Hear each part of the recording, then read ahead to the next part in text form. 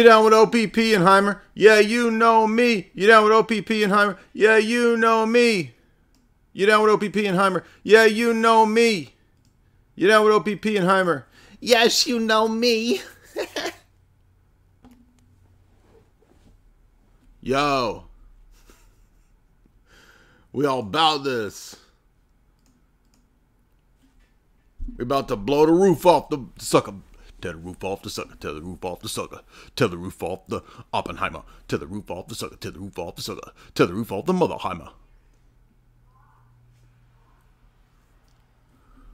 I seen some movies, and then I seen some other things that might not ought to be called movies.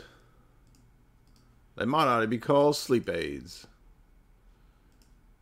Oppenheimer, more like Nappenheimer, stole that joke from Jamie. Oppenheimer, more like Sleepenheimer. That's what I said on Twitter. Oppenheimer, a how hour and a half in, and we ain't had no nothing blow up. We ain't even had an M80, not even a Sporkler. Two hours in, we get a little bit of pop fizzle. It took two hours to blow anything up. Where's Michael? Call Michael Bay. Page in Michael Bay. Help us out. The movie's gay. Call him Michael Bay. You know an OPP and Heimer? Yeah, you know me. Michael Bay should have been blowing up. There would have been nukes in the first five minutes. We would have had Autobots roll out in five minutes. We didn't even get a sporkler. Jamie didn't feel like coming on, but she's in there giggling, so she approves. I stole one of her jokes. We know if Michael Bay was directing it, we would have had a freaking explosion in, in the opening sequence. The opening sequence would have just been explosions blowing up other explosions. We would have had Optimus Prime over there. Giving Oppenheimer a massage. Welcome, everybody. I was on Lord Voldemort, as you probably saw the fourth hour, and I didn't get into the deep dive like I wanted to. I ran out of time. I'm not fussing. I'm happy for any of the time that I get. Uh, they skipped the commercial breaks to let me do my my little shtick, my humble little routine. Oh, here comes the movie analyzer author comedy man. Ha ha ha. Let him do his little thing. And I ran out of time. I thought I had more time than I did because I couldn't see the clock for like the first 20 minutes of the between the breaks. And so uh, I did. I talked about old Tom Coombe over there, and um, I did that for that large audience, which it did make it onto the front page of their little info zine they got. Then I tried to get to Barbie, but then I only had a few minutes. So let's get into Barbie. Let's do this. Let's do this. You got your Barbies. You got your Kens. There we go. Y'all want to play Barbies with me? uh, yeah, so a lot of people were saying too, because I listened to Rachel and, and uh, Jamie talking about Barbie. And Rachel was like, How is it Gnostic? Somebody else, uh, uh, I mentioned this. They said, How is it Gnostic? I'm going to tell you how. Y'all going to get learnt. Because, by the way, Hollywood recycles Gnostic narratives all the time. It's like their go to superstructure narrative for any of this kind of a, a, movie, right? Remember Lego movie. Did you notice the parallels with Barbie and Lego movie, even to the point of the demiurge character being Will Ferrell? That was odd. Um, but yeah, that's what we see over and over and over. So how is that the case? Well, the movie begins, as I'm sure you know, with the 2001 Space Odyssey sequence. And we see the idea that motherhood is slavery. And the girls, the little children uh, from 2001, the little monkeys over there, they're taking the baby dolls and they're bopping other baby dolls and breaking them. Again, spoofing the 2001 Stanley Kubrick. Ever heard of him? That sequence? And the idea is that evolution of women, we're all coming from a primordial matriarchal society. So there's an ideal world, by the way, where Barbie lives, which is different from the human world, which is patterned on the matriarchal world, you see.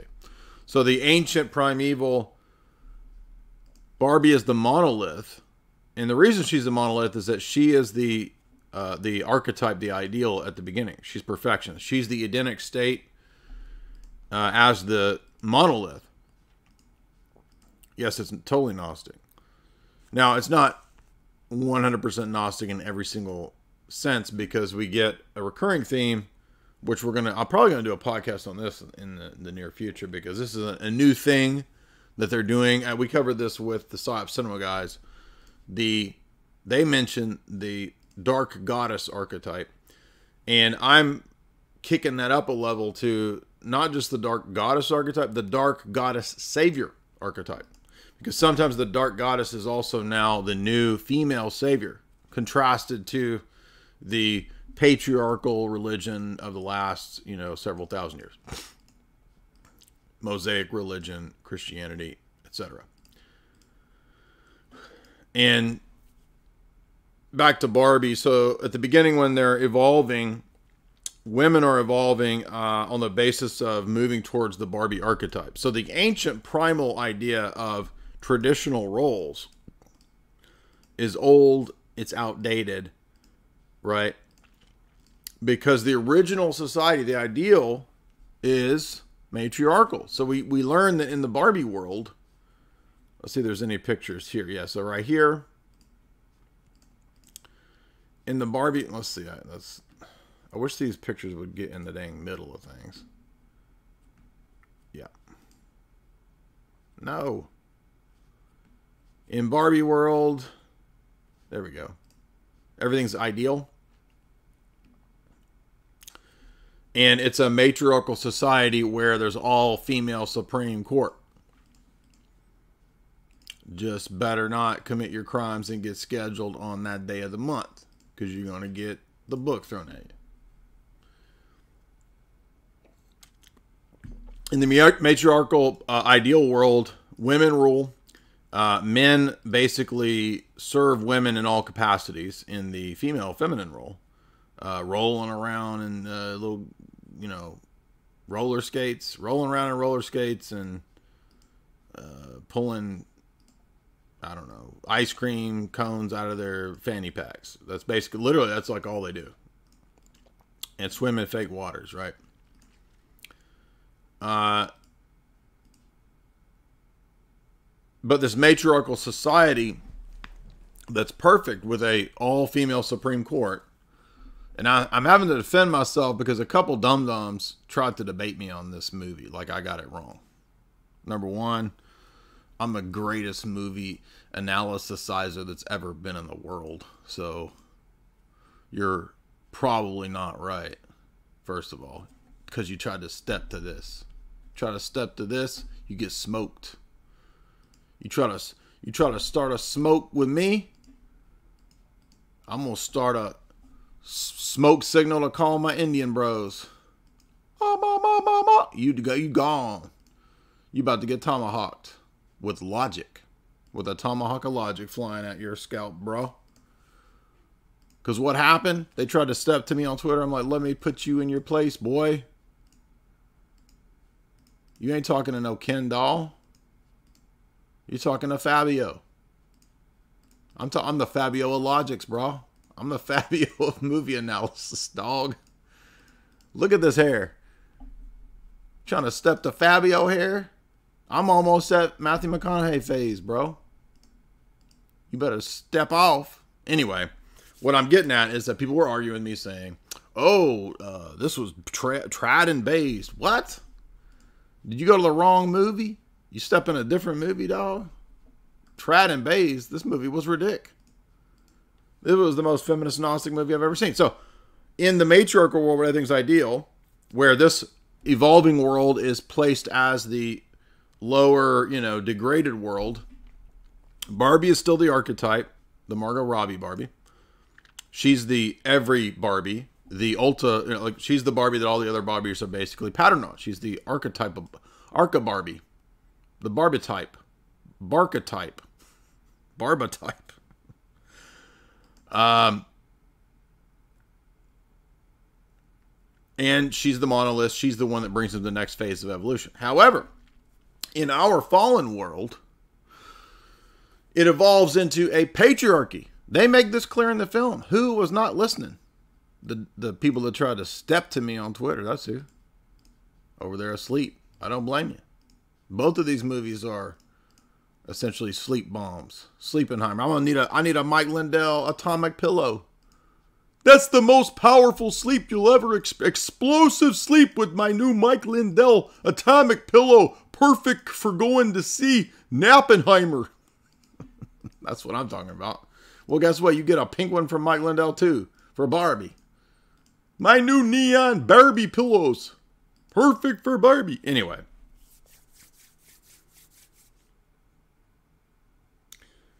Barbie in Barbie World, remember, by the way, has her own money, her own job. She does everything on her own, her own career, her own car.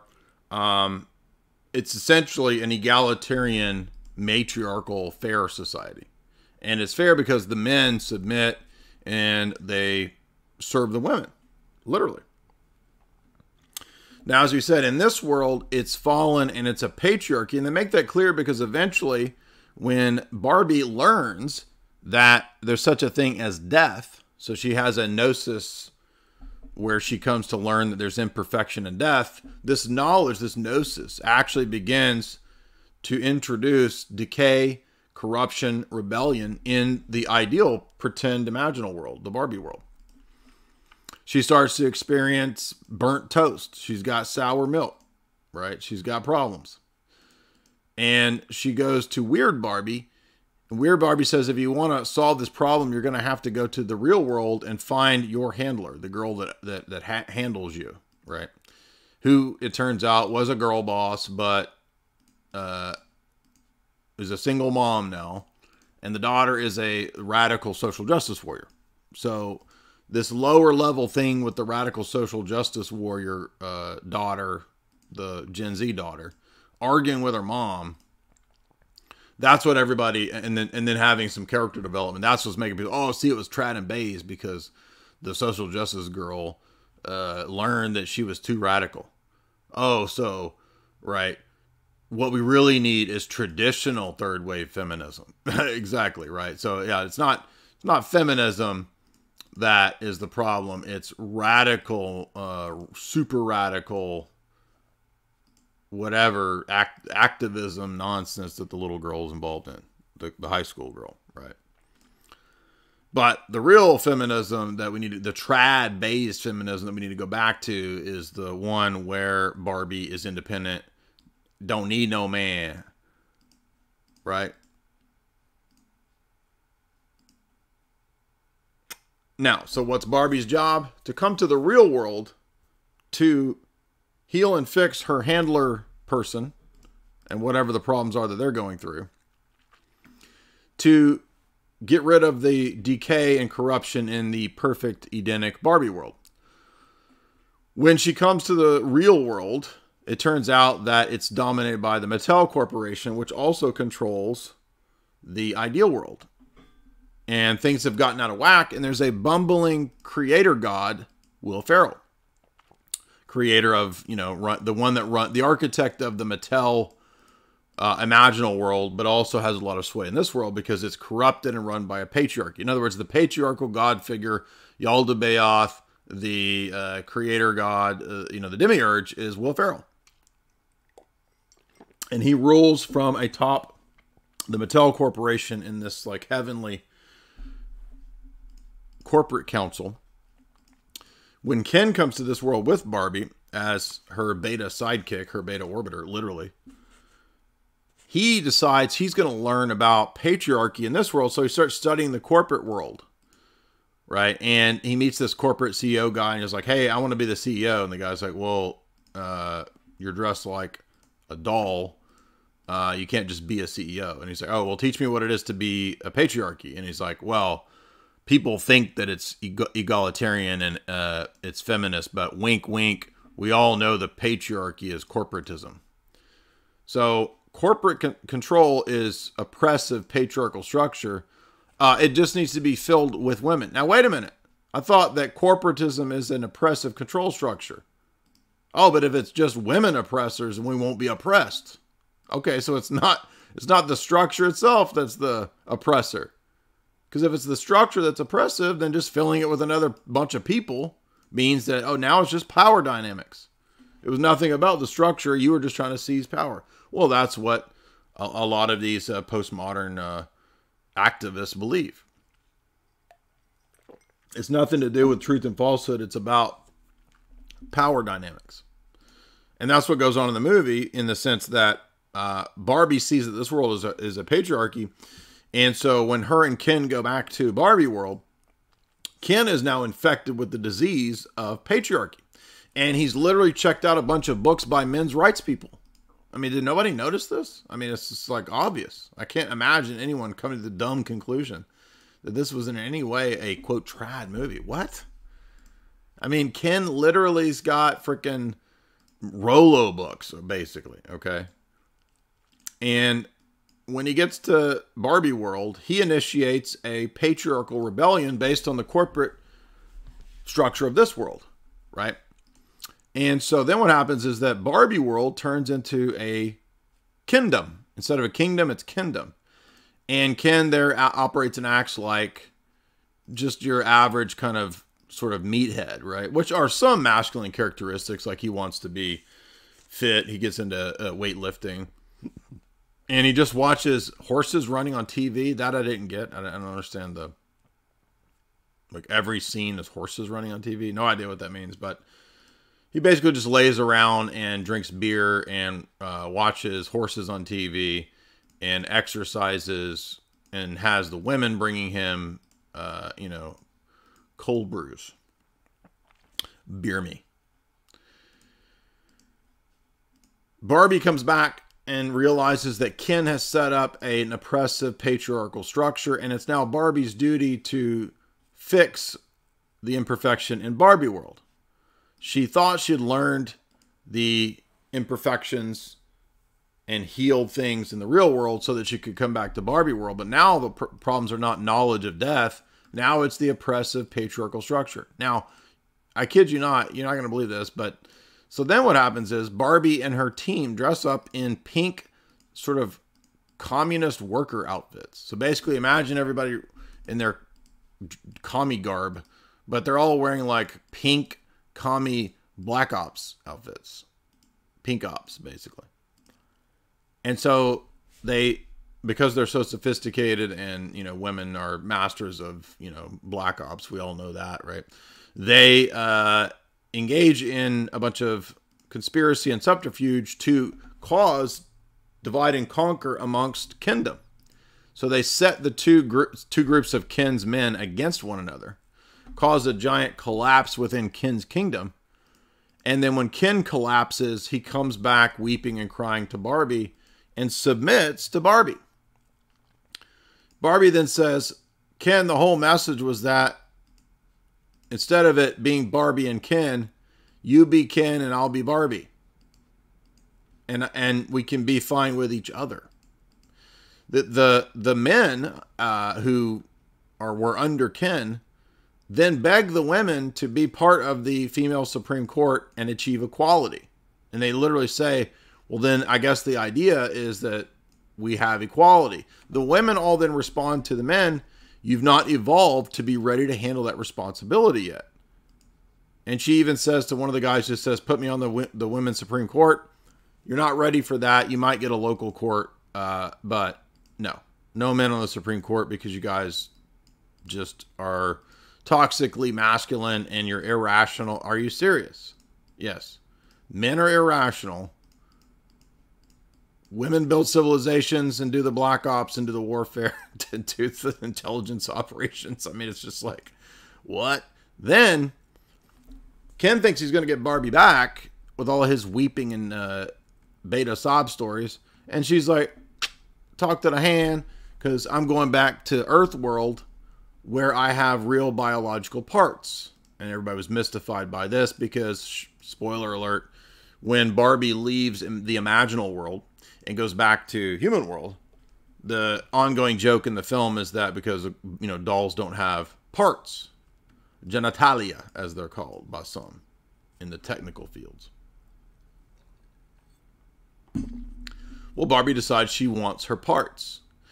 And then she goes to, at the end, the gynecologist. So the final scene is that Barbie's going to see a gynecologist, which is supposed to be funny, I guess, for the women that made this movie or whatever. I don't know. But I think the point of that was um, Barbie's now here to save this world, right? The enlightened, sophisticated, celestial feminist who has fixed the heavenly rebellion in her world of the patriarchal oppressive tyranny and she's now created the fairness world she's become now incarnated so here it does depart from some of the gnostic narratives. She's become incarnated here i think now with the mission to girl boss this world. She's going to get rid of because they'll probably make a sequel right? If it made money. She's going to have to then girl boss the will bumbling will ferrell and the Mattel Corporation to unseat them from the tyranny of male patriarchal to- toxic masculine dominance. So, absolutely, it was 100% Gnostic. Absolutely, it was super feminist. So, basically, yes, she is the Pistis Sophia, the Gnostic goddess, who saves us from our poor masculine selves. By the way, if you want to support the show, you can via the super chat functions. Use these super chats there. Uh, and uh, yeah, it was just kind of. Uh, I mean, there's a couple things in this movie that were clever in in terms of like the cinematography. I thought it was really clever the way that the ideal world is structured. That I did, I think, was neat. Uh, it's really trippy looking because it looks like a Barbie house or something, but um, and that right there, that's that's your Barbie right there. That's that's that's the new Barbie coming out, slow Barbie right there.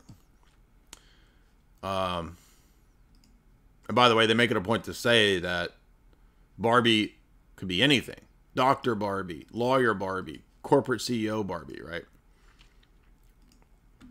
So when she, when she comes to the real world, you've got this sort of uh, Pinocchio, uh, make me a real girl narrative going on, and she becomes a real girl and says, "I'm going to see my gynecologist because I have my parts." In other words, now that I am master of my own destiny and I don't have a Ken man telling me what to do with my parts, that I'm supposed to be a slave in the kitchen churning out the babies with my parts I will now determine the meaning of my parts. That's what that was about. And she's here to fix our fallen world. Now, this is the Gnostic dark goddess archetype, but I'm adding the dark goddess savior archetype to the lexicon. Because I started thinking about it. How many movies are giving us now instead and they'll even use the biblical imagery virgin birth right incarnation or actually a stepping into our uh, corrupted you know gnostic lower realm or whatever evil realm to save us and bring us back to the ideal and thankfully the ladies are here to save us because us men has done messed it all up.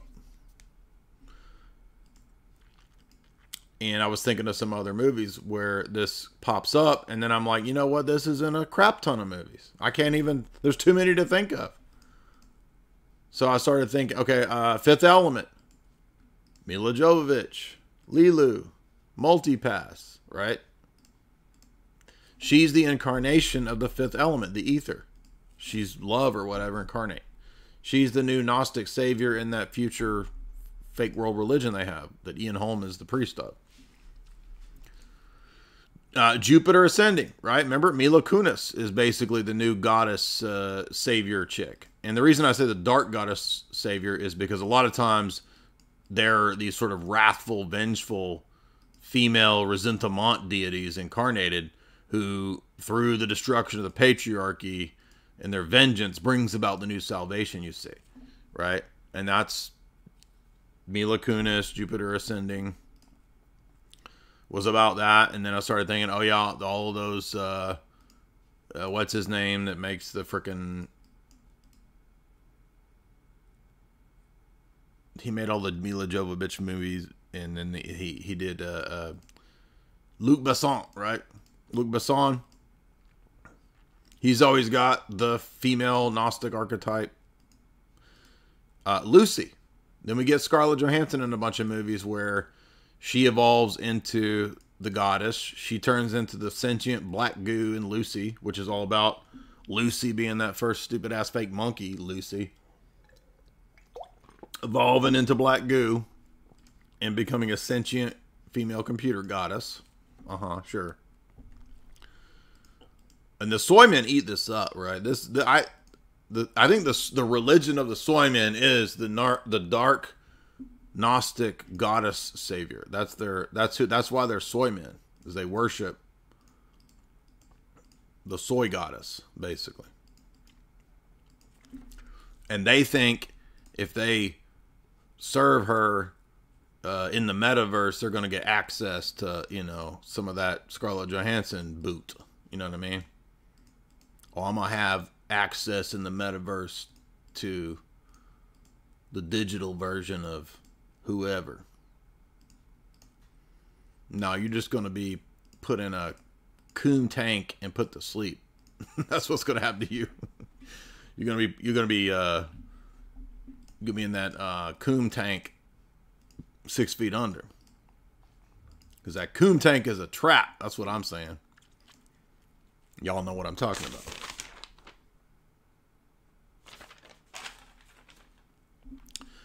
Thank you for those super chats. We got a nice little crowd here. If you would hit like and share, welcome everybody. Uh, we're having fun. We're going to be returning to a little more uh, of a serious topic, I think, in the next couple days, where I've come across some really good uh, deep geopolitical analysis that we'll be commenting on. I haven't covered in a while. That's the background to the, the architecture of Mockingbird and Mockingbird 2.0 and Mockingbird 2.0 was really all of the Russia collusion P-gate stuff. So we're going to be doing a breakdown of that because you're going to understand that all of that P-gate stuff was all the same model of Mockingbird, but now 2.0 on the internet. Cyber Mockingbird, basically. And uh, I found a really good podcast that doesn't just tie in that, it ties that all of that in even up into the today, you know, present day Ukraine situa- situation. If you understand my my drift here, if you catch my grift. you down with OPP and Hammer? Yeah, you know me. You down with OPP and Hammer? Yeah, you know me. You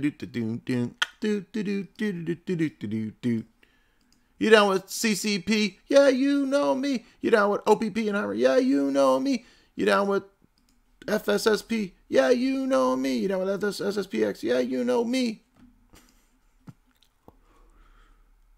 Uh, there's one more thing I want to say about Barbie, and then I forgot what it was. Oh, I forgot to get my. Uh...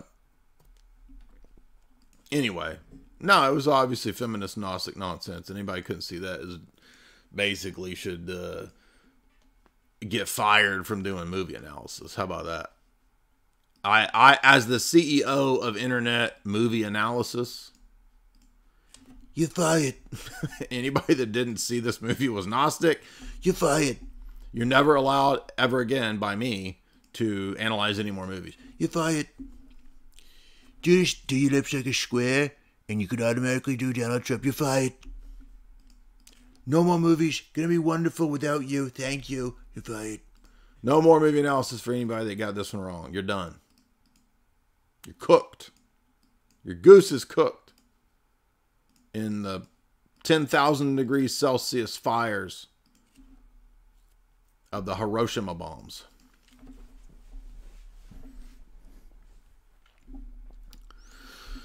Oh, this. Can't reach my Carroll Quigley. Come here, Carroll. Come here, Carroll. Larry Nichols. Hillary's a witch. yeah, my Trump is a little off because it's hot in here. it's a little too deep. Trump's not that deep. it's gonna be great. It's gonna be wonderful. Hillary, Hillary, Joe, Sleepy Joe, Sleepy Joe Biden. That's better. I was a little too low there. Anyway, I think that's everything I want to say about Barbie. Uh, yeah, okay, good enough. So I didn't get into all the depth that I wanted to, but hopefully you see how that's. Oh, uh, uh, that's right. Dark goddess savior archetype in the movies. Uh, Calypso, Pirates of the Caribbean. Remember her? Jack Sparrow. Jack Sparrow. Me want you do one more thing for me. this ra this turtle here is a disease. Bruh, bruh, this turtle is a disease. Yeah, exactly. Y'all remember my Jamaican man talking at you. Calypso, she doesn't she turn into a big old hurricane? Hurricane, isn't a rap song? Hurricane. She turns into a big rap song. I mean, a big hurricane, and uh, you know, flushes the kraken down the the ocean toilet. Right? Remember that? Me go and flush this yeah kraken down the ocean toilet now. this kraken is a rare disease. Bruh, bruh. And I feel like I'm forgetting a big one. What what's another? I wrote it down. I wrote down a list of all of the female goddess revenge archetypes. Ex Machina, you could argue that's another one, even though she's a robot, right? You know, have you noticed they always make the Matrix the because the Matrix of the womb, right? They always make uh, Skynet is a she. Remember, it was Helena Bonham Carter, the Gnostic goddess, the Red Queen, Resident Evil, is a she. Jaspiera, what uh, Miss Cleo, Gnostic Savior. Dionne Warwick, Gnostic Savior. I feel like I feel like I'm forgetting something. Do a Robin Williams. I can't. I, I can't do Robin Williams. I feel like I got a little bit of Robin Williams kind of spurg energy in me though. But I hopefully I feel like I'm actually kind of funny because I mean, Robin Williams is. I get what he's doing. I like the kind of stream of consciousness stuff. That's what I like to do. But I just don't think Robin Williams' stuff was funny. It's just kind of dumb. And I feel like, but I feel like I'm forgetting some really big female savior goddess movies. Anyway, oh, Children of Men. Remember that? Yeah, because in Children of Men, she has a virgin birth and it's a girl. Ooh. Whoa.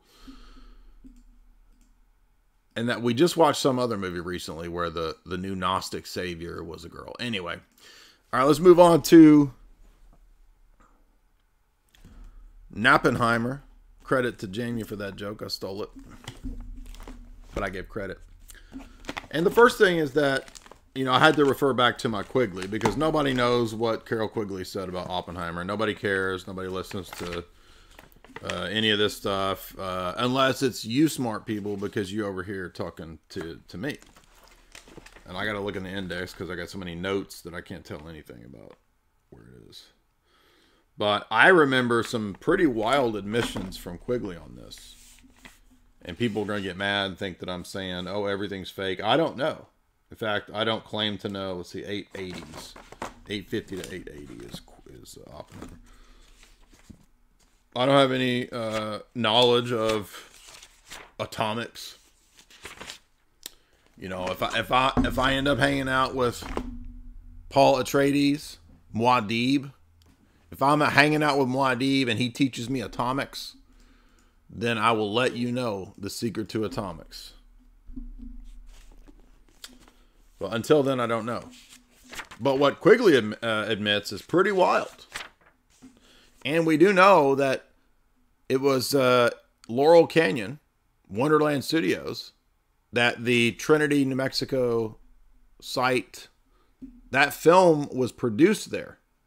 Interesting. Why would it have to go to a premier film lab like that Disney had access to and all that, right? Um, so this is 100% propaganda. In fact, Quigley on the first page says much of what we know and think about this is that it's a lot of Hollywood stuff. Am I saying that all of this is fake? No, I'm not saying that because I don't actually know. I can't prove that. But I what I can know and prove is that they're saying that this is a lot of propaganda.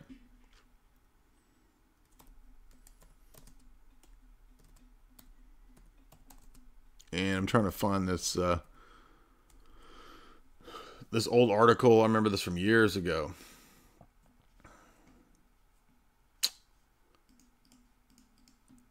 Yes.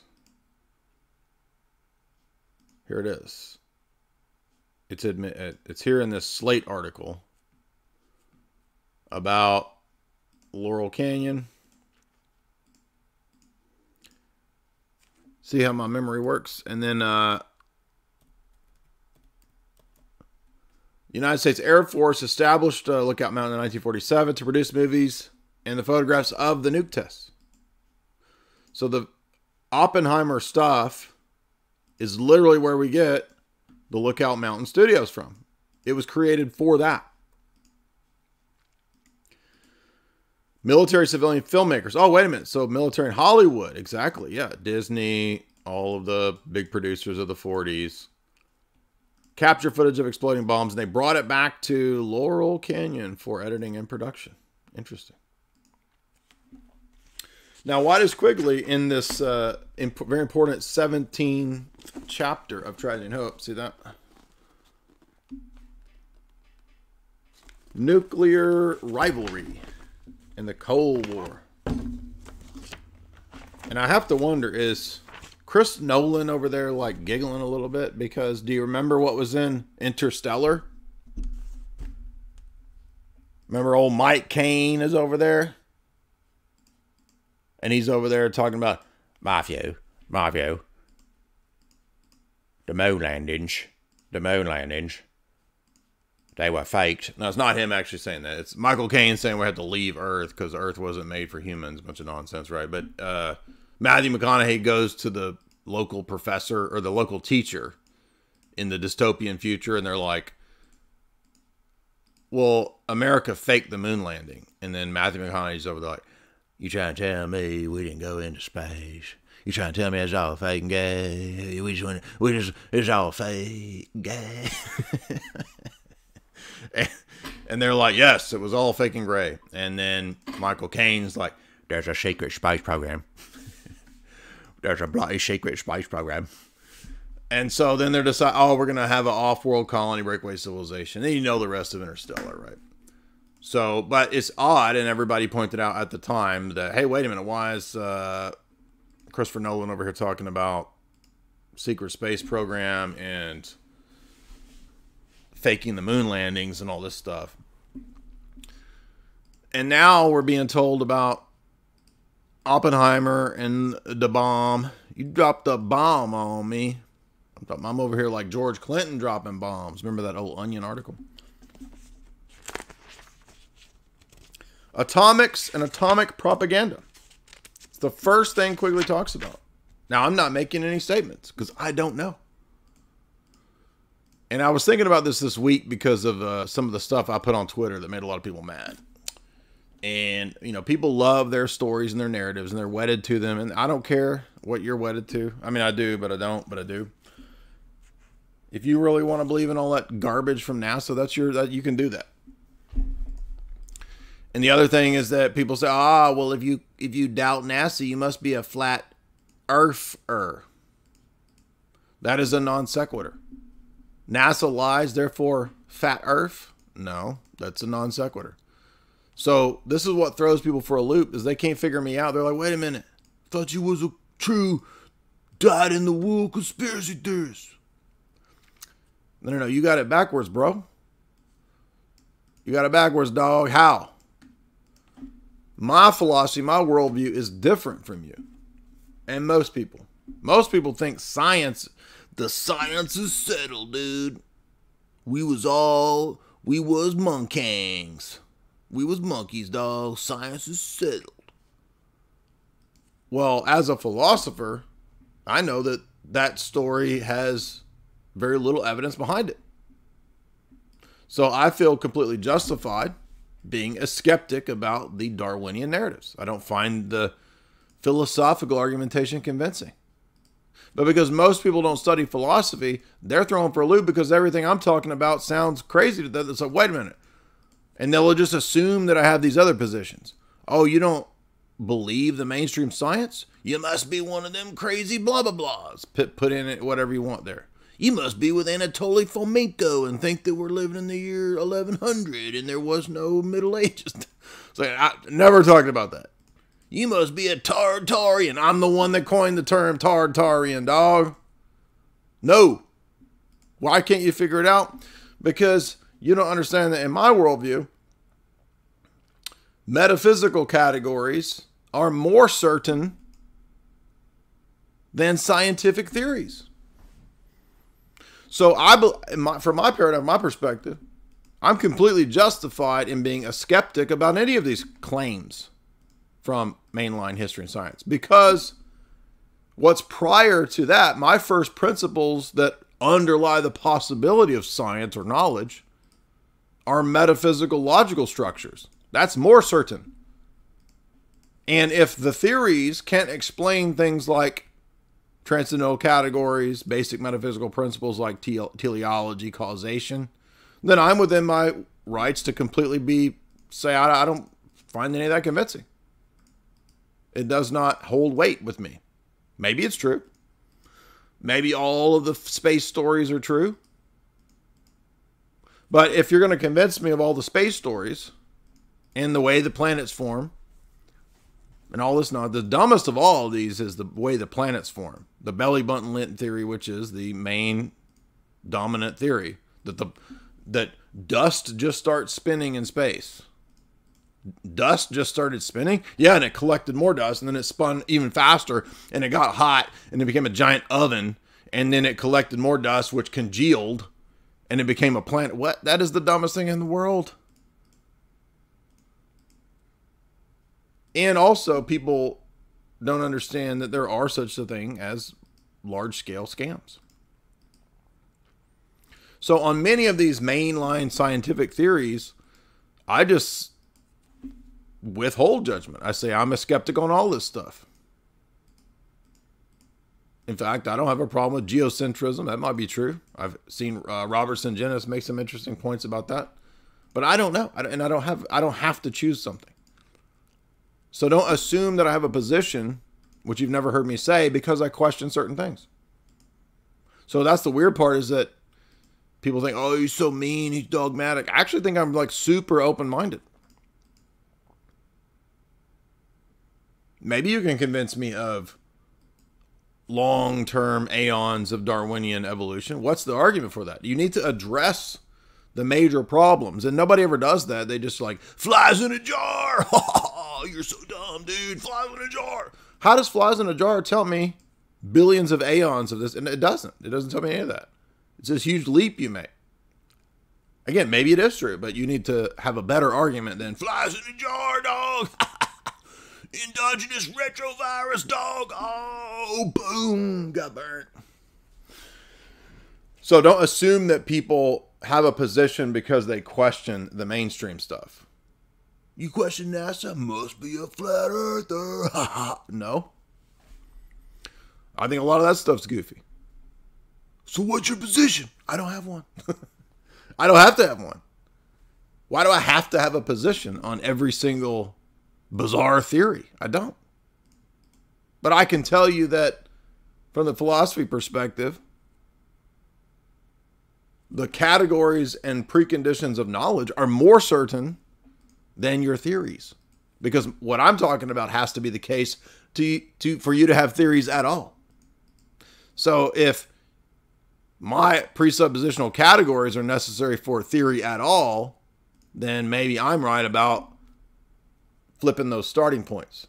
That's why all these normies that don't know anything about philosophy, they all think philosophy's dumb, dude. We got science now. We got science now. science is a tool for theorizing about and understanding the natural world, and that's it. Nothing else. And real science, by the way, is not done by dorks like Dawkins and Hitchens sitting around speculating about life origins. That's theory. Real science is like engineering, dude. You ever think about that? How come a bunch of engineers aren't all over the TV telling us about science. I'd listen to them because they're actually applying these principles, proving that it works with their product, with their engineering capabilities. What has Richard Dawkins engineered? What has Neil deGrasse Tyson engineered to prove their theories? Maybe they have. And guess what? Something that freaking proves my point on all this is the quantum theory stuff because all the quantum theory stuff came in and upseated the Newtonian stuff. And in the movie, that they make a big deal about this you know, in the first third of the movie, if you can stay awake, if you can wipe the drool off, because Oppenheimer has all these discussions with Werner Heisenberg about and uh, Niels Bohr and all these other people about quantum theory and how this underlies, you know, his approach to the questions of what will eventually be the bomb and all that. And uh, that part was kind of interesting. Like the first, uh, you know, 30, 40 minutes, I was kind of into it. And then it just went like the rest of the movie is just like this boring bureaucratic like deposition for like the rest of the movie. And flashbacks to him uh, having a couple memories of sleeping with what's her face from Midsommar. So I just thought it was super boring movie, but there were a few interesting admissions that actually come up in Quigley. Did you catch the world government discussion from Robert Downey Jr.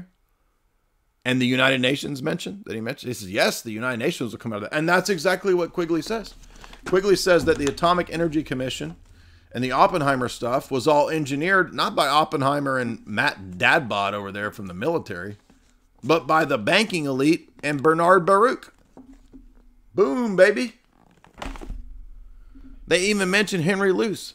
So Robert Downey Jr. is playing uh, what is it, a senator Strauss, right? Who was on this commission and he was supposed to be like the government, the legislative angle of it there's the military angle of it with Matt Dadbot over there telling them what to do with the project. And uh, meanwhile, he's investigated by the FBI because of the oh, he's a commie, and we think he's a red, the Soviet, and there's Klaus Fuchs, who was a Soviet spy, is there. So it, I just wanted to point out though that the very first thing Quigley talks about is the Hollywood element of all this.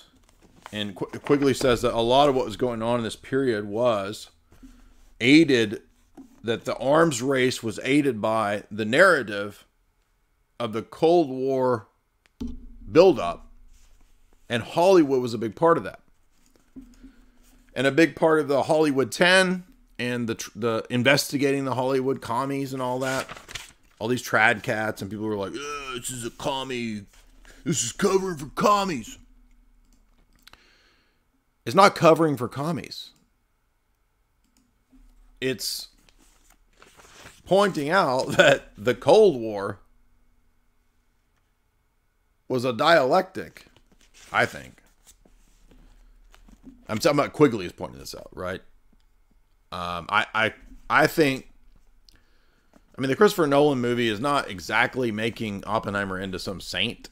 It's, I think it's it's trying to do gritty realism and you know presenting him as a uh, a complicated figure because he's you know not an affable, uh, um, amicable person. He he's supposed he's a womanizer. He leaves his wife and all this. He doesn't care for his child, and so he's not a good person. But oh, we must re- revere him because of the the scientific genius. And you know Quigley. I'm going from memory here, but Quigley basically says no. Oppenheimer was kind of like an organizational genius for this project. Um, he doesn't really speak of him like he was this master scientist but rather, this is on page 885 of Tragedy and Hope.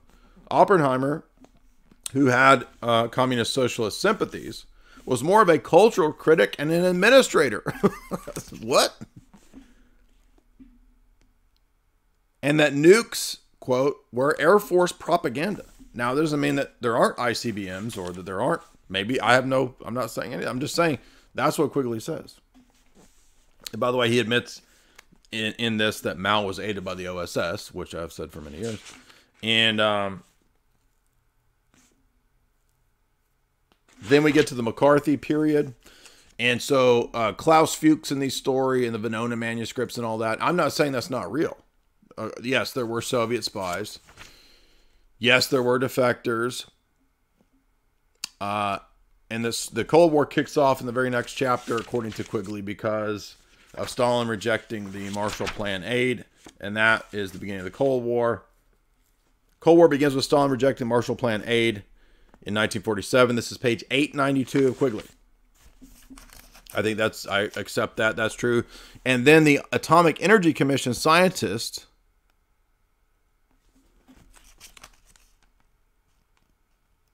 create what is essentially a nuclear racket set up by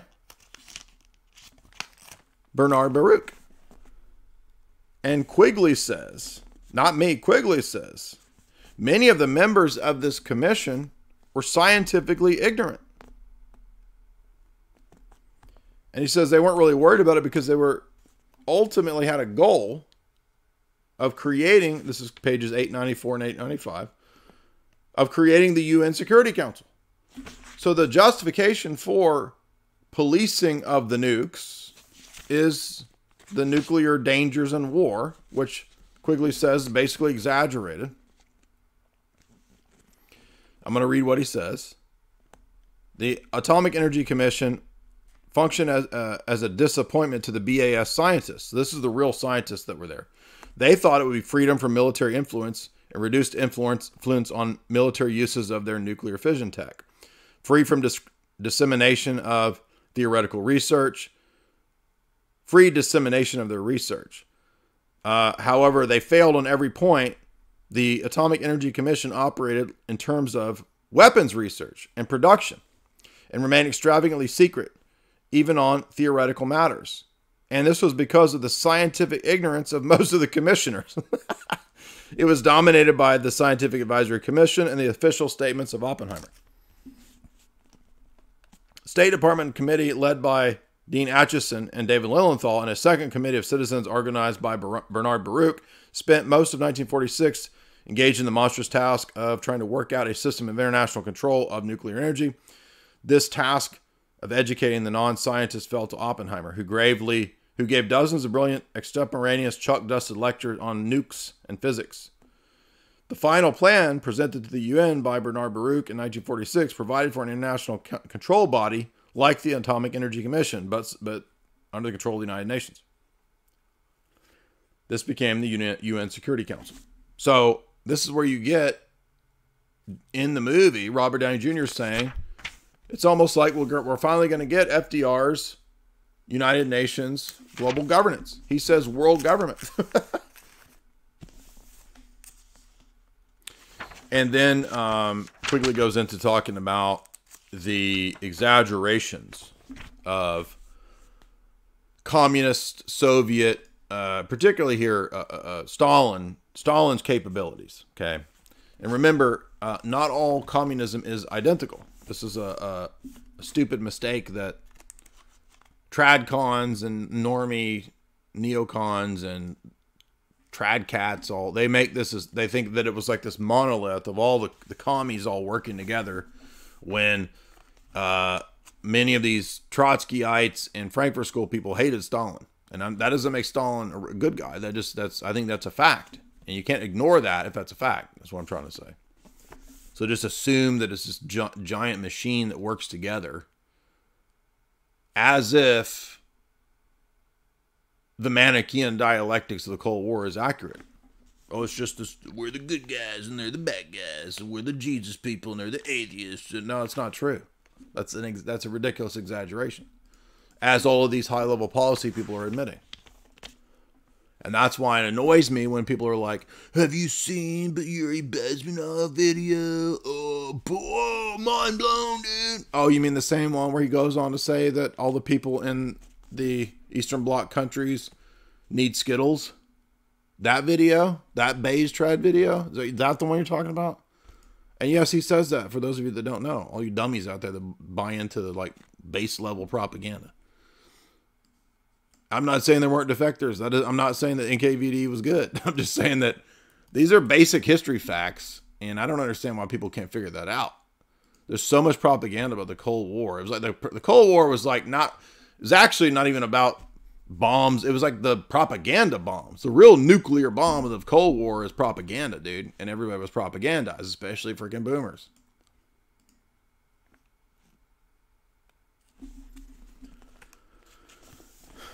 Meanwhile, the OSS and CIA are helping Mao out. it's like in this period where the Cold War is kicking off, they're over there training Mao uh, and his guerrillas. And Mao was at Yale in China.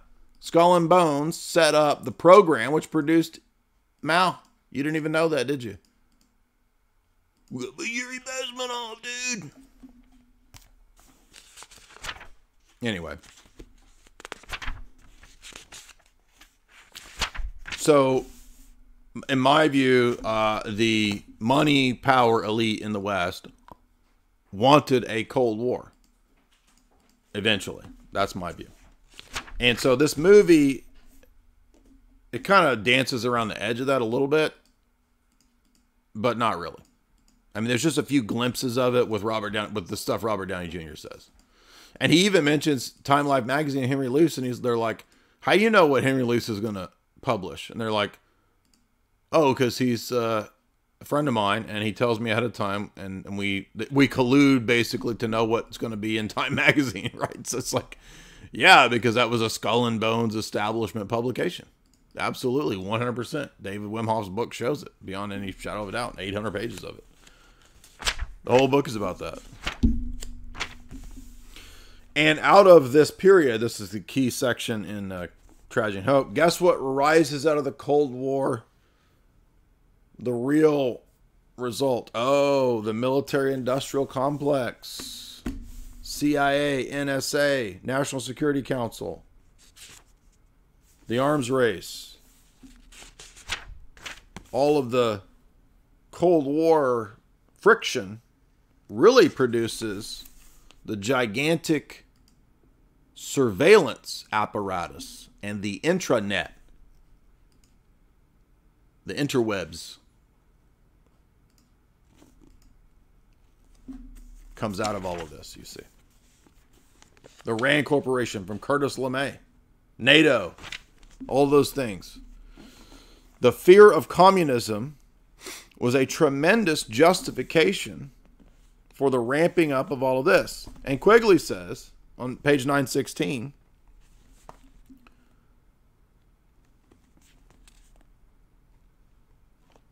that when they were saying that there was like a hundred thousand secret communists. It was really only a few a, a few thousand. So by 1960, there were 3,000. According to Quigley. Here's what he says. The communists that Moscow actually controlled the United States were at their max think he says the FBI estimated uh, about 75,000 in 1945. So apparently, according to Quigley and the FBI, the peak of Kremlin influenced communism in the United States was 75,000 people in 1945. In 1950, that fell to 50,000. In 1960, it fell to 3,000. So, certain stories, which are real stories,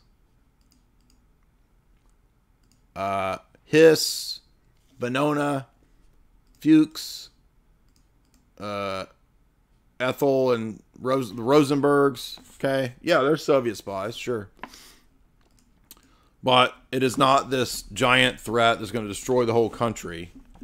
And they're, you know, everywhere. They're is basically like the T E R R O R threat back then exaggerated. And he goes on to say that the red threat was exaggerated because it was perfect for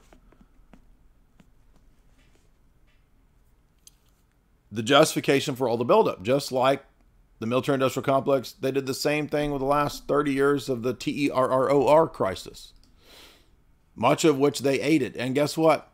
It wasn't any different with the commies, much of which the Western elites aided. Build up the enemy, allow them to be a controlled managed threat that justifies your own buildup, and then you dispense with the enemy which you basically managed the entire time. Managed in the sense of, uh, you know, like a, a a lion on a leash is what I'm trying to say. In fact, there were even fake atomic spy stories, completely made up, completely planted, and Quigley covers that on page 920. Uh, most of the information about Soviet spies was uh, not secret, hidden information. It was just public news stories. Some of those were fake. And he does mention uh, fake nuclear stories and fake espionage again on 922. The red conspiracy, red threat was largely trumped up. And he says if we were really concerned about this, there wouldn't have been a program to send nuclear scientists to Russia. but nuclear scientists were sent to Russia in a joint program. Oh, but we're also worried about all of the scientists uh, getting compromised by the NKVD and, uh, you know, sleeping with, uh, you know, Ulia and Khrushchev and, and, uh, Andropov getting us nuked. Basically, it's a bunch of it's a bunch of stories. And I don't know why people can't get that because that doesn't mean that I'm saying that Stalin is a good guy. It's like it's not that hard to figure out, but everybody wants these really simple, kind of easy narratives, right? And that's when he goes on to say that uh, people who he makes fun of the John Birch Society for not figuring out who was really running things because the John Birchers were the first conspiracy theorists, if you don't know, the first era of like you know, grandpa era conspiracy people, and they picked they figured out part of the picture, right? A lot of McCarthy type people, yes, and but like Alex points out, McCarthy and a lot of the John Birch people, they actually started figuring out, hey, wait a minute, this isn't all Moscow and Beijing. This is a bunch of people in our establishment, like David Rockefeller. And so they first kind of fell into this thinking, this trap. Oh, maybe the commies have, maybe Moscow and uh, China have compromised David Rockefeller and the Carnegies and the Mellons and the you know all of these elite families. Because why are the families and the tax-free foundations supporting leftism and socialism? Because they're all commies. No, it's the other way around. Wealthy people have always funded and controlled and managed socialism, communism, you say. And we just still can't get people past that that roadblock. They just can't figure that out. They can't. That's a roadblock in so many people's minds. It's like a age. There's like an age drop off, right? Like if you're above fifty, you just can't ever believe that for whatever reason. I don't know why, but so there you go. Anyway, some really good sections uh, in in all this. The Quigley uh, uh, chapter seventeen, really good stuff there. So hopefully that clears things up and people don't automatically assume that I have some kind of ridiculous position. A lot of this, a lot of the science stuff, I don't. People can't figure out that a lot of science is propaganda, man. Uh, what about quantum physics? Well, my view is, and I, one of my essays in the Red Book, I cited I think Werner Heisenberg, because Heisenberg says uh, I'm pretty sure it's Werner Heisenberg, right? Doesn't he argue that the smallest particles uh, operate and have structure like platonic solids, right? He says it's more like Platonism at that level. Okay, well, that fits into my worldview perfectly. Is my worldview destroyed if that's not true? No. I don't have a problem saying, well, okay, maybe it's maybe quantum physics is just a wild theory. And so a lot of people mistake theorizing and they just have this this mystical sort of they just think science is this this Olympus council right? There's a, there's a at the universities there's the council of science. And again that's a bunch of movie crap. That's not how it works. People over there theorizing that's fine. There's a place for theory but I'm I'm gonna listen to an engineer before I listen to a quantum foam theorist. Because a quantum foam theorist is theorizing. Richard Dawkins, though, they're theorizing about alien space sex and panspermia. That's a theory.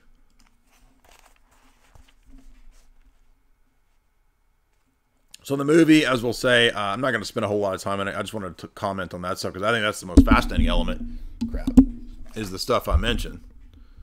The movie is not that fascinating. All that stuff I just said is way more fascinating and interesting than this movie. I guarantee you that. Um, unless you really want to sit in, uh, if you want the re- the virtual experience of a bureaucratic 1940s boardroom and being questioned by other bureaucratic, boring boardroom men. I mean, what the heck? And then one dumb humping sequence, which everybody was losing their mind over. I'm like, there's a million different movies with this exact same thing in it. So Hollywood's making our scientists into prawn stars. What? And then I heard this. Uh, this must have been viral marketing, I think, because I mean, it, was just the whole movie was super boring and people are saying they came away traumatized from this. Traumatized. I mean, maybe you can be traumatized from being extremely bored in a theater for three hours. I mean, what? That had to be marketing. I can't imagine actually being traumatized from this. I mean, and people believing these stories of which Quigley says a lot of this is just exaggerated. Um, so there's references to alchemy. There's references to uh, subtle references to what we what we call might call sex magic, because the phrase uh, you know read this from the Vedas is right when they're in the midst of their intimacy, right? Because intimacy time is when you read the Vedas, right, out loud. I mean, it's it's just silly, but there's a reason for that because it he keeps referring back to the Big Bang. Get it? Get it? And then he's the new Big Bang, right? Because he's the destroyer of worlds and the creators of, the creator of a new world, basically, with uh, fusion and fission, and which I take as a thesis, antithesis, dialectical synthesis, right? That, that's kind of what's the structure of this movie. Um, and they mention that famous phrase in the midst of the intimacy sequence, the bang, get it? And then um, she has him read the Sanskrit from the Vedas about you know, I've become destroyer of worlds or whatever. Anyway, uh he is Prometheus. That's the thing. They keep referring to him as the American Prometheus throughout the movie. And so as Prometheus, he's stealing the fire of the gods to destroy worlds now and he's there with his council, of high council of science, which that's that's how normies think it this works, right? There's like there's this high council of science with Oppenheimer and uh, Ed Tell, Edward Teller, and all these scientists sitting around, right? And by the way, do you know Edward Teller, not just the Manhattan Project guy, he's also the father of atmospheric atmospheric aerosol spraying or geoengineering. That is on record what Edward Teller is known for, as well as being on the High Council of Oppenheimer's Science. You see. The other biblical archetypal references are that he says that the nukes when they, when this goes off it's a pillar of fire in the desert you see. So there's this moses egyptian uh, exodus narrative the pillar of cloud and fire. He calls it the divine power where he says that we will detonate this in the city of the three person god. Trinity the three person god? Because they're the new gods you see. And by the way that's in my book where i cite Strange Angel about uh, Jack Parsons and all that, and Trinity Site. So maybe even subtle references to secret societies and psychological warfare, with the idea of the ritual dividing of the atom and the release of energy. Uh, so there is perhaps an esoteric component to this movie. I think you could you see I see traces of that with the biblical references and him actually saying that we're gonna blow this up at the site of the three person God. And and Matt Dadbod's like, what's the three person God? And he says Trinity, New Mexico, because he's the new God. You see, who are the new gods? The stars of science, and they actually talk about them as as if they're sort of cult stars. But the cult now is the cult of the super weapon. And you should go read the Collins Brothers' excellent article on that called The Cult of the Super Weapon because it talks about exactly as Quigley was saying the psychological warfare components of the cult of the superweapon gave the impression that America now had the ability to destroy worlds. The cult of the superweapon. The bomb almighty. If you watch Planet of the Apes 2, I recommend it because this is in Planet of the Apes 2. They actually worship the bomb almighty and they have an organ and they have a liturgy of the bomb. I'm not joking. You should go watch it. It's a it's a good B movie. It makes this point, the cult of the super weapon. But this movie is not really going that deep. It kind of dances around the edges of uh, some of the stuff I'm talking about from the quick from Quigley and whatnot. But it falls back into your typical sort of normie approach where everything is as normie history has told us. Um, nothing is uh, exaggerated and out of placed out of accord with reality. Except maybe the commie stuff is is is shown to be exaggerated, which maybe that's true. Um, but you have Truman, basically, who was a committed Freemason, calling the shots. Uh, I don't, sorry, tr- the president doesn't doesn't call the shots, right? He's over there, the the shot caller. Oh, we're gonna nuke these people. We're gonna bomb these people. I'm gonna call the shots because I'm the prez. The prez calling the shot. No, sorry, the prez submits to the people with zillions of dollars. The dude that makes two hundred thousand dollars a year does not submit to the people that make zillions of dollars a year. I'm sorry. I mean, I mean, he does submit to them. Okay,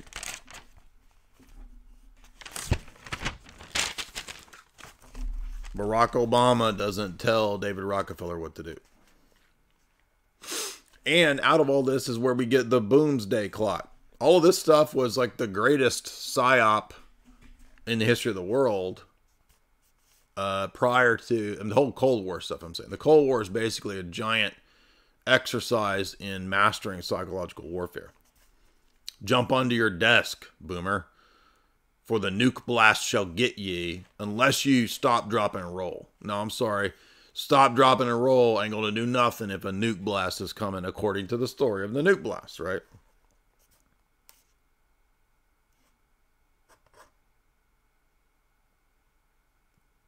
And we've covered some of these uh, propaganda classics too, by the way, like um,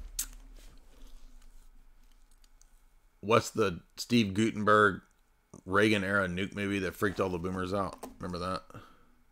Supposedly, this movie just scared the crap out of everybody. The the uh, we covered Jamie and I covered. And I just I just went blank. The last day. The last. Y'all help me out. My mind's going blank here. This is where we get the Boomsday clock. Rem- remember my video? The Boomsday Clock video, my original cr- Cringecore. A lot of people don't know there was an original Cringecore song about boomers, the Boomsday Clock, instead of the Doomsday Clock, because the Doomsday Clock is a is a stupid terrifier thing that's supposed to terrify the crap out of you. Maybe I changed it to boomer music, boomer tunes, I think.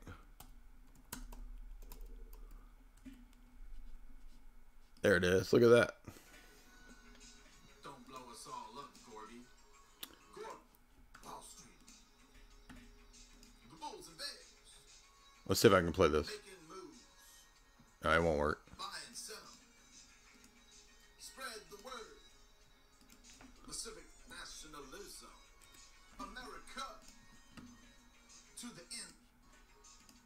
Anyway, you can go watch this later. Uh, I was reading at the time the Rand Corporation book by Alex Abella.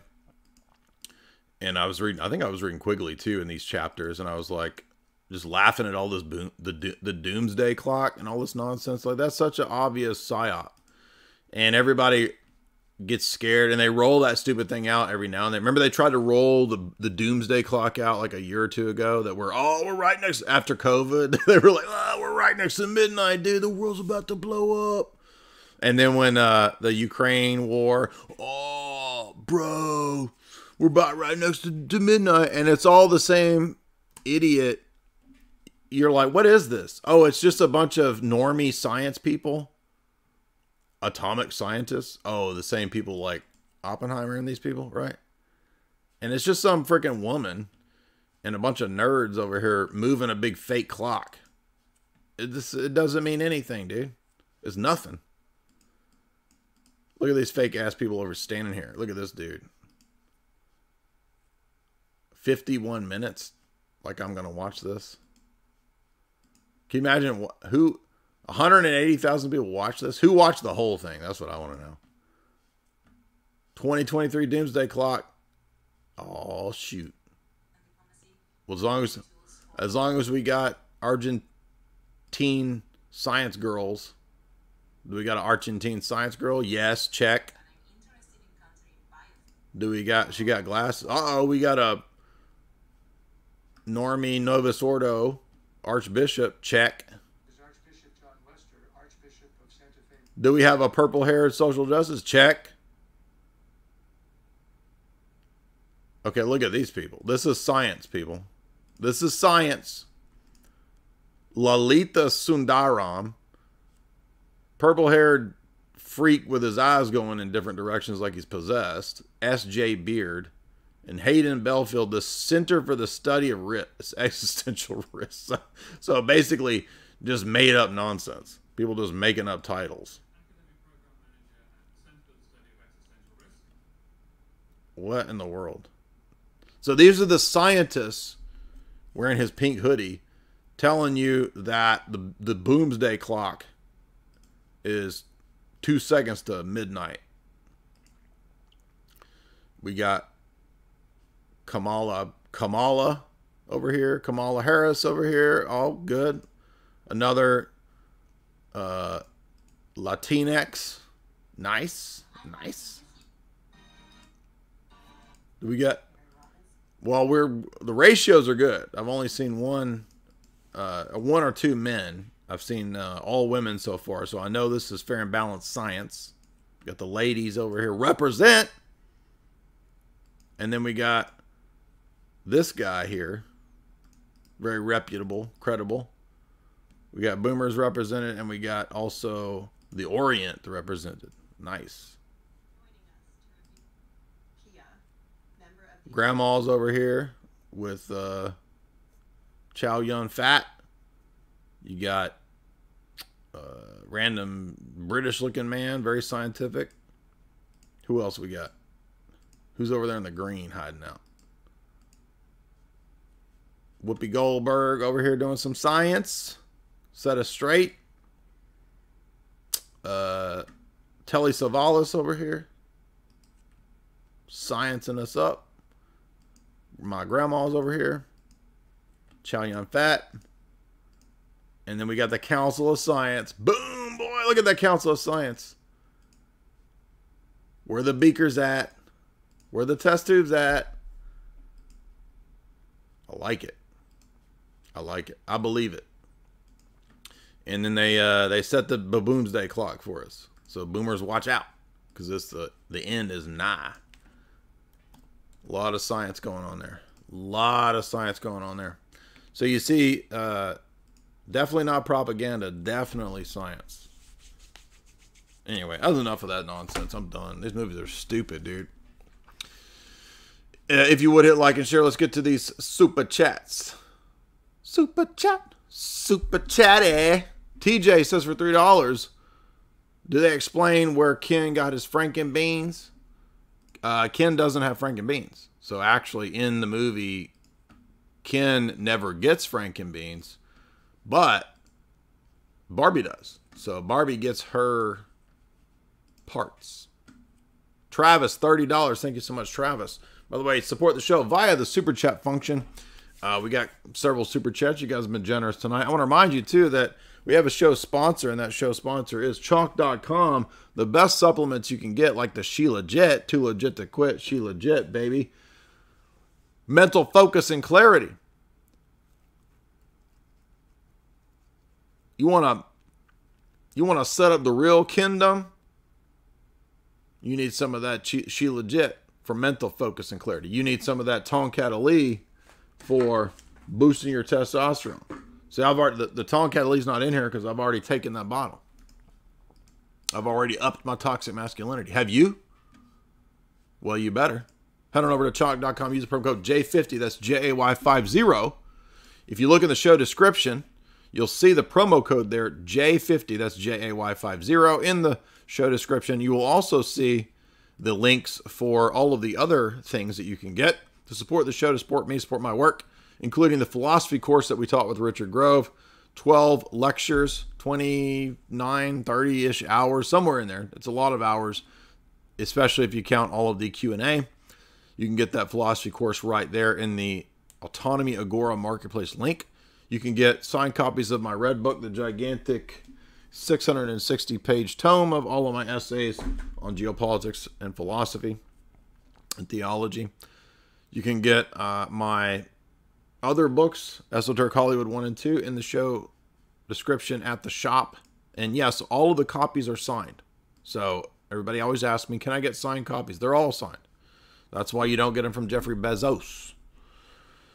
Travis says for $30, spit that hot, dire fire for us, Big Daddy. I added a little bit to that. You should have said hot, dire fire. But thank you for the super chat. BMX 1966, great stuff. Thank you so much, longtime super chatter BMX. BMX 1966, again, $10. Once again, this is a great intro slasher. Who does your intros? Everybody asks me. Uh, it's on the screen. It says uh, by amid the ruins. That's it. thank you so much, BMX. Longtime super chatter supporter. Love you guys so much. One compliment 377. Get Curtis Yarvin on. Um, I don't know Curtis. I'll be happy to have a chat with him. Uh, everybody says you need to talk to to Curtis, Neo Reaction luminary, and I'd be glad to talk to him. A Hunter, five dollars. Alternative analysis. Barbie is the patriarchy, bro. Come on, y'all got to be joking if you're having to go that far, right? I mean, maybe you're just joking. Ken is uh, the representation of women's strife. okay, I mean, if that's where y'all who have the alternative analysis are having to go to to make it work, then uh, you're still fired. You fired. You're still fired from doing movie analysis. You're not allowed to. But I will go ahead and read your super chat since you sent me five bucks. Patriarchy is oppressive. Feminism is created. The movement becomes oppressive. Patriarchy is redefined to appease the feminists. And then Barbie, as a Christ figure, descends on to Earth to spread ideology. No, I'm sorry. That one don't work, dog. Turtle Thames, one dollar. Do you have opinions on Nuke? again, uh, I did cover that when I got to the section on what I can and can't prove. Uh, so anything that is a an authority claim from the system in terms of like normie science, I don't have any problem with it being true, uh, unless it contradicts my presuppositions. But I'm also not just going to accept it because it is stated to be the majority belief of most of the scientists or because the authority says that it's the case. Because I also know from many years of studying psyops and geopolitics that the authority structure lies all of the time. And everybody knows in the last three years, this, the authority structure has lied immensely. And that's part of the governance of mankind is that governments lie, empires lie. Now, does that mean that everything is then false? No. So how do we know? Well, we don't. So we have a likelihood, uh, you know, it's like sort of a scale.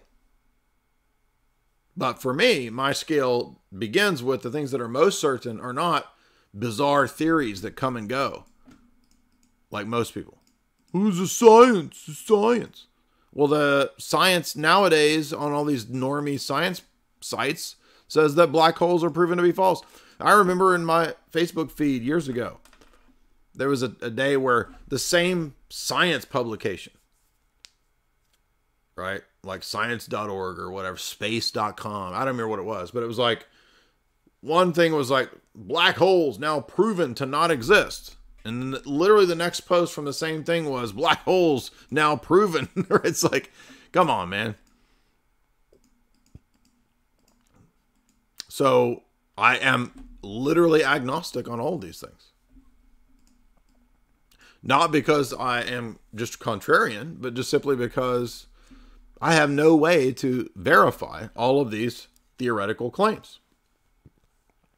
And that doesn't mean that I think that maybe they are true. So, like, what's going on at CERN? I don't know. I don't claim to know. And I don't care people have theories, but I don't think that somebody turned CERN on and uh, the Mandela effect happened and now all the the screenplays from 30 years ago got altered. Okay, I don't believe that. That doesn't make any sense. But maybe there's uh, elements in simulation theory where we could find analogies and parallels that actually show that the world is ordered and structured. So I could take things from simulation theory about the world having geometric forms and pattern and structure without adopting the idea that everything is a simulation, you see. So I'm not bound to any of these dumb theories, and I don't care ultimately what the in other words it doesn't bother me if there's a bunch of theories you see and everybody wants to have you know everybody wants to jump to the craziest stuff like because if we don't really know what CERN's doing, oh, then they must be altering the Berenstain Bears VHS tapes from 30 years ago. I mean, that's just crazy, dude. That's just crazy. Look, what's a more likely explanation for Berenstain Bears? People were typing out the name and they just misspelled it. And they thought it was Steen and Stain, you see. Isn't that a lot more likely that people just mis- misspelled stuff? Then they they turned CERN on and it flipped all of the VHS tapes from 30 years ago. this is ridiculous. It was more likely that everybody was lied to about a thousand year period in history and the Byzantine emperors all concocted it and tricked everybody and all the apostolic succession is false? Or no actually there's there was history is you know the last 2000 years is fairly accurate. I mean if you're if you believe christian history you wouldn't believe that stuff. I mean maybe we just don't know a lot about tartaria. Doesn't mean there was a giant world mud flood or i mean what I mean, isn't it more likely that buildings sink into the ground over time than there was a giant hidden empire? And by the way, I'm pretty open minded about megaliths and hidden civilizations. I don't, sure, okay, maybe there are. But I'm just a lot more skeptical on a lot of these things. That's all. Uh, by the way, you think I'm crazy? Oh, he's look how dogmatic he is. No, no, no. I'm very open minded, you see. It's not what you think.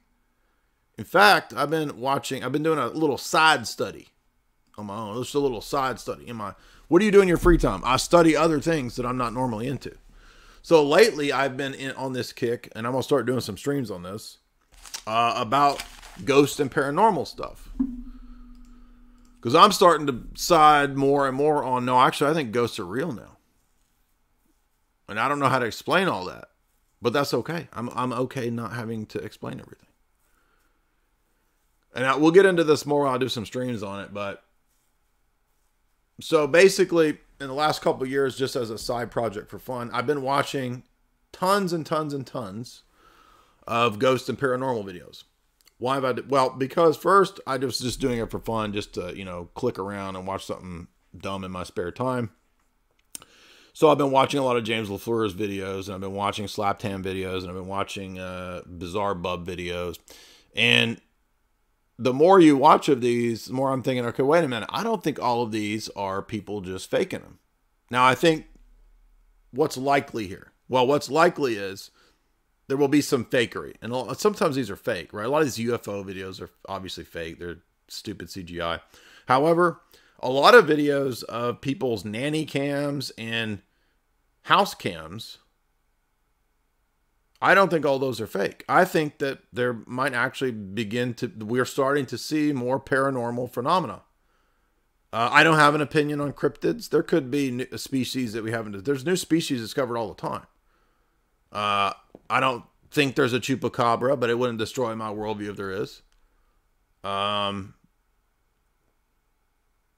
do I think that spirits or beings can manifest? I think maybe they can't. I don't know how it works, but I'm starting to think, yeah. Because I've watched in the last two years hundreds of videos and clips on this, just as, again as my side project study. And I would say two years ago, I was very, very super skeptical, anti-ghost. Uh, now I'm, I'm, I'm on the other side, right? I'm like, no, actually, I think uh, I'm, I'm more on that side. I think there are ghosts now, and I don't, I don't, I don't know what it is. Aliens? No, I don't believe in aliens. Now, there are demonic aerial phenomena that I think are inexplainable. And so, you see what I'm saying? So, I'm pretty open minded about stuff, I think. But I find it harder to believe that out of these probably again hundreds of cl- I've probably seen a thousand or maybe two thousand in two years. Two thousand various clips of sort of paranormal phenomenon. Uh, and I would say, just guesstimating, I would say maybe 10 to 20% are fake and staged. Um, maybe 30, 40% are inexplicable unknowns. And then the other ones are like, those are pretty, that's pretty strong, right? And I watched, so I mean, I'm not a video analyzer, so I can't say for sure, but I'm just saying that this is my analysis, my opinion. Now, if a person tends to side on the oh no i think most of these are fake. Okay. I don't it doesn't bother me. Like it's okay. Like because I, I i would say again two years ago i probably would have thought no most of these are fake. But now i'm starting to think no i think a lot of these are not fake. So yeah i'm a little more open-minded on that stuff. So you yeah you could say there are no ghosts, it's all demons. You could say that. However, in our eschatology, in our immediate state, I mean, uh, you know, in the life uh, of the soul after death, I mean, there's periods where the soul is still here. Uh, doesn't Father Rose talk about, you know, the tradition of uh, two to three weeks of the soul still being here? And we don't know what it's like in ghost time, right? In the next dimension, three three weeks might be three years or 300 years. I don't know. We don't really know how all that stuff works. So it might be ghosts and demons or maybe they're all demons. I don't have a problem either way. I'm open-minded about these things. But I do not believe in extra biological entities flying here on spaceships from other planets that crashed here that we re engineered their technology. That's a bunch of baloney. 100%. Uh, I do think there's demons, angels, spirits. Um, some of these cryptid videos, I don't know. I don't know what they are. I mean, it's just, I guess, you know, again, it could be fake, it could be anything. So I'm open minded. Uh, what do y'all think? Um, but I have to say, uh, when it comes to if you're looking for these kind of fun videos, Uh, James LaFleur's videos are kind of out there. I mean, he, he gets a lot of like really wild speculation, glitch in the matrix type stuff. I don't really buy most of that stuff's goofy and silly. Most of the UFO alien videos are garbage. Uh, but there's a few things I can't explain. So, but if you're looking for the best ghost demon videos, um, Bizarre Bub usually collects the best of those. Those are pretty solid. And then the Slapped Ham is kind of an intermediate between those two. Yeah, I just don't think a lot of all this stuff's fake. I mean, it's just like, is everybody faking videos? I mean, mm, what's more likely that I think it's more likely that 10 to 20% are faking these videos. Anyway, you, you get y'all get the idea. We'll talk about this more. Uh, I'll, I'll, lay out my, my theory and analysis on this in uh, upcoming streams that we do. Bobby, a dollar. Do you think Freemasonry is a past or present threat? I don't think it has the influence that it used to, but I mean, it still has the degree of influence and it still has an ideology that is uh, antithetical to ours. Um, it's hard to believe they have a major influence when the membership is declining. Yeah, I think that what's rising is stuff like witchcraft, you know, out, outright uh, occultic stuff and uh, outright, you know, satanic groups. Um, but I mean, there's still, you know, quite a few boomer Freemasons and powerful Freemasons, I'm sure. Jesse Branch, $3. Did Enoch and Elijah become the angels Metatron? No. Uh, Enoch and Elijah are Enoch and Elijah. Uh, so Metatron is uh, Gnostic, Kabbalist uh, stuff we don't believe. BMX 966.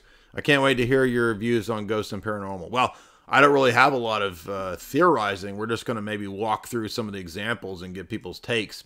And one reason I want to do this is that I want people to, because I've noticed that a lot of these things that pop up, this is a great experiment because it shows us, for example, that individual pieces of data don't necessarily tell us whose paradigm is right. And we see this with these kinds of things all the time because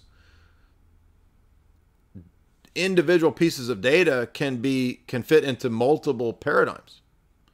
And in philosophy, in the philosophy of science, as you guys know, this is called the problem of the underdetermination of data thesis. Right? a lot of data can be equally viable in various models. So just having a lot of data doesn't necessarily tell you which model is correct. And you could apply that to arguments like, oh, well, Jesus was resurrected. So uh, uh, the apostles changed their mind and became strong after the resurrection, and they were weak prior to that. So therefore, the resurrection of Christianity is true. Well, that just means that they had a change of character. How does that prove the whole religion to be true?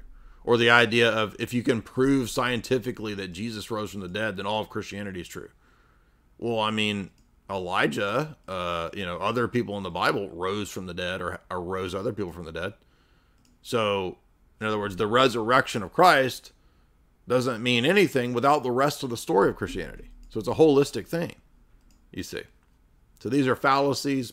And when it comes to like the ghost paranormal clips and videos, none of these in themselves necessarily can hands down prove anything because we a lot of the videos we don't know their origin we don't know what's going on and yes they could be fake.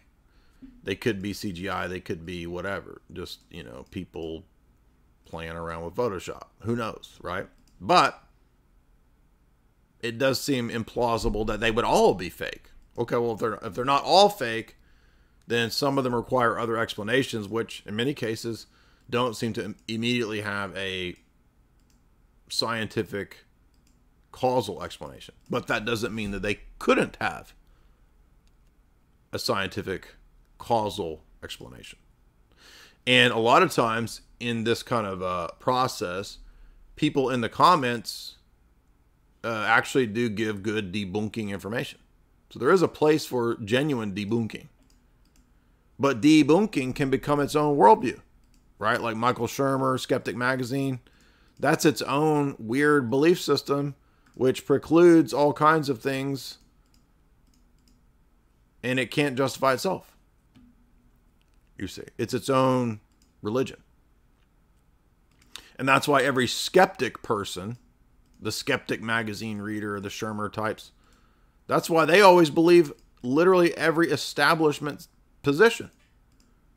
Oh, don't question the Big Nine event. Don't question Koof. Don't question Stabbies. Don't que- see what I mean. Oh, so you're just a voice for the, you're a mouthpiece for the establishment because you're just another type of religion, right? Neil deGrasse Tyson, down the line, every establishment belief like a check, like a perfect checkpoint or checklist. BMX says, I can't wait to hear about ghosts and paranormal analysis. Well, I want y'all to uh, to come with me because guess what? This audience has the highest IQ out there. I'm serious. We got a lot of high IQ people. Uh, so I want I want y'all to chime in and comment when we do some of these upcoming ghost, paranormal, unexplained topics. And no, I don't believe in Bigfoot. That's dumb. Bigfoot's fake and gray. Uh, Bigfoot. By the way, if Darwinism was true, there ought to be Bigfoots. There ought to be. We ought to be seeing some damn Bigfoots. Okay, Sasquatch ought to be. I'll put. I'll put it this way: if the Bigfoot crowd, which is a bunch of goobers, can prove Bigfoot to me, then I might start thinking, okay, maybe Darwinism's true. but I don't think you can prove Bigfoot because all the Bigfoot videos are dumb.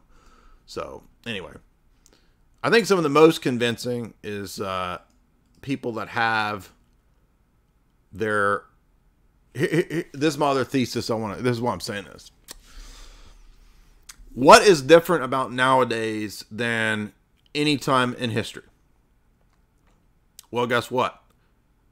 Not only are surveillance cameras everywhere, and they got more and more prevalent in the last 20 years, we know this.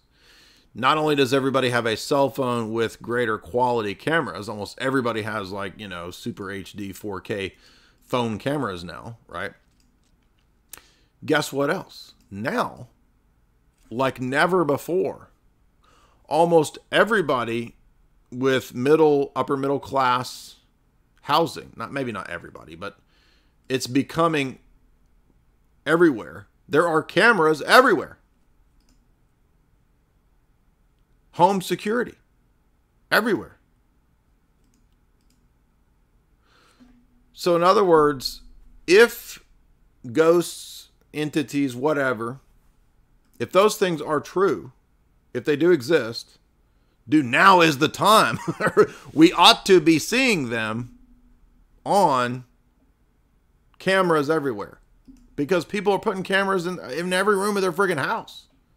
Now, to me, houses cameras inside the house this is getting that's invasive. Okay that's like i don't want alexa and jeff bezos being able to you know hack into my house and watch me.